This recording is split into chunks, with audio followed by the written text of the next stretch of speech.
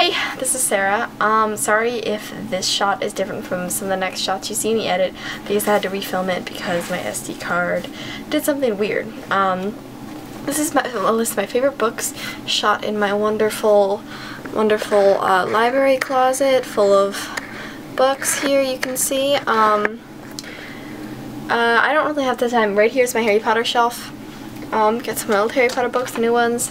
It's really nice. Basically, I'm going to introduce uh, three or four books that I really, really love and the reasons why I do. And the first one of these is Slaughterhouse 5 by Kurt Vonnegut, which is one of my favorites because I've been a time travel nerd since the beginning.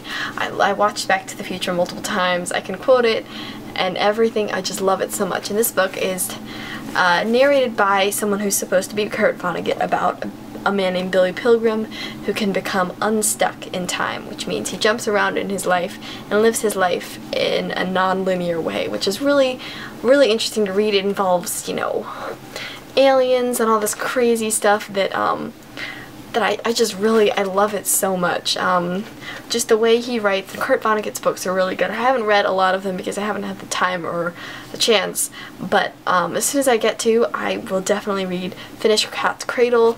Anything by him is really good. I'd recommend this one. Thanks. The second book I'd like to talk about is The Stand by Stephen King, which is 1,440 pages long, which I slogged my way through, I want to say last year, and it's one of the scariest books I've ever read, honestly. Like, my dad, he read it and he couldn't sleep with the lights off. Um, basically, it's, if you love classic battles between good and evil with no action, like I do, uh, this is the book for you. And also, if you like a zombie-ish plague story without the whole zombies, then you'll also like this because uh, at the very beginning, a man escapes from a biological testing facility. A man escapes from a biological testing facility and unleashes a huge plague upon America. Don't know what happened to the other countries, doesn't say.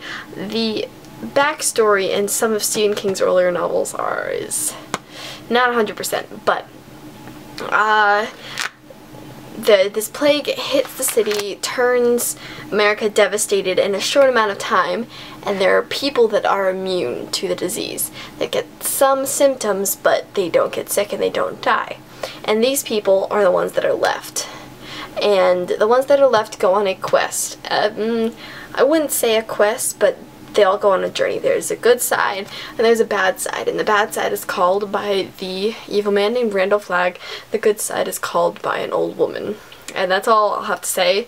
But it is really, really good. The character development, which I am a sucker for, is so good. My favorite characters would have to be, um, if you read the book, Nick wait, wait, no, that's from the Great Gatsby.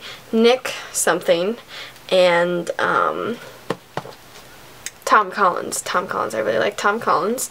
And I just love this book so much. I can pick it up at any time, open it wherever, and start reading. I love it to death. Such a puns. Third book I want to talk about is It's Kind of a Funny Story by Ned Vizzini. And I love this book for several reasons, and it's because it's about a teenager.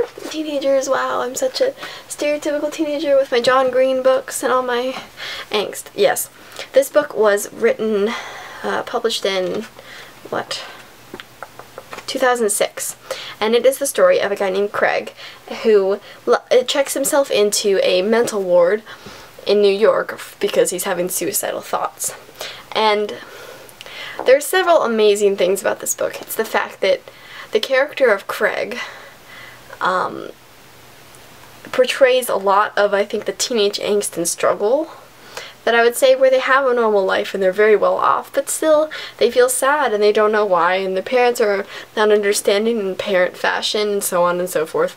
Uh, his experience in the mental ward is closely based upon uh, Ned Vizzini's experience in mental hospitals because he had been severely depressed before, and um, sadly, seven years after the book had been published, Ned Vizzini uh, committed suicide on December 13th, I believe. If that's wrong, I will edit it in post.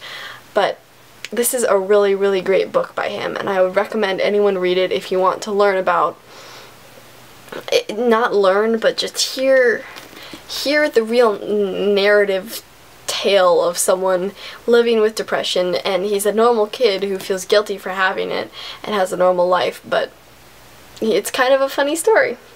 So, it's the third one. Oh, how many of these am I going to have? Uh, this is the last one I'm going to do because it's kind of short and it doesn't have a plot. This is 22 and 50 Poems by E. E. Cummings, and it is a compilation of his poems. And E. Cummings is my favorite poet because look at look at this. Look at look at this. Look at this writing. It's so it's so creative, and I I really I really love it. Honestly, um, my favorite poem by him. Yeah it does not have a title, I don't believe. But it's the first line is love is the every only God. And I I rehearsed this poem, I believe, for in seventh grade. It was Poem in Your Pocket Day, and I brought this and I said it to my librarian and got some sort of candy or something. But um, he's, he's my favorite poet. I've tried I've tried hard to be E. Cummings sometimes, and it really does not work. I gotta tell you, it's hard. But I'm still trying, and he's one of my favorite poems. Poems. Yes, he's a poem. He's a poet. Um, so that's about it. Uh, thanks for watching my video.